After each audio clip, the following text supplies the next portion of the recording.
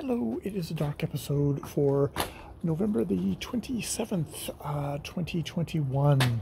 Um, feeling a little bit more energetic today, maybe because it's just about to become, just about to be the weekend. Maybe, maybe that's the reason why. Um, I commented on, on, on, on a fellow booktuber's video, and that felt really nice. Uh, and hey, I got a very nice reply back. But actually, more importantly, I just replying to some, just just saying hey to some booktuber, and having a little brief connection that way was not a bad thing. Um, yeah, yeah, and listening to a thing at the moment, uh, all our relations, which is about the epidemic of suicide in. Uh, in uh, Indigenous communities in Canada and throughout the world.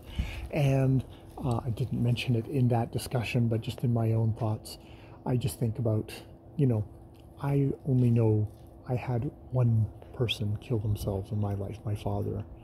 And that reverberated. That hit me, hit me, and has hit my life so hard and has affected my life and how I move through my world so hard. So I can only imagine what it is like. I can only imagine what it is like to grow up in a world where not just one person kills themselves, but multiple people kill themselves. And this is just always an omnipresent thing there. And I mean, you know, it was one of those things that for a big hunk of my life, when things would get tough, I would think, you know, well, that's an option. Well, that's an option. And I think that's that's that's kind of I think that is faded. I, guess we'll think and see if things get horribly tough again. I mean, I've always got a low level of depression, but it's never I never have particularly have that as much as much.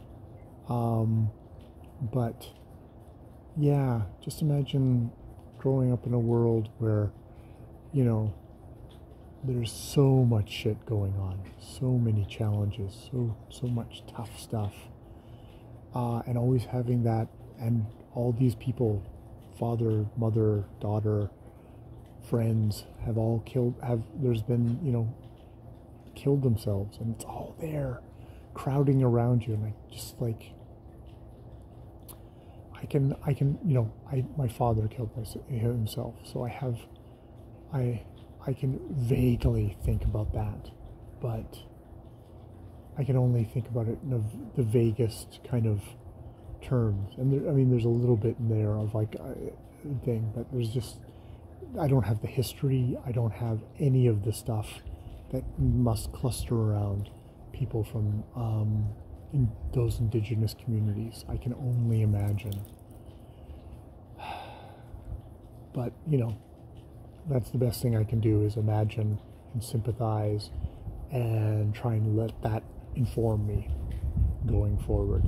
So yeah, yeah, I just I figured I I would drop that in as a dark thought on a dark episode because I don't want to put it in my actual uh, thinking about about the book itself because that's my own bullshit, which you know is always there, but it's not it's not relevant. But hey, here I can put everything that is irrelevant and uh, is just me babbling on because it's my dark episode and I can just chat and talk all I want. Yada, yada, yada, yada. All right, I will leave it there. More videos later.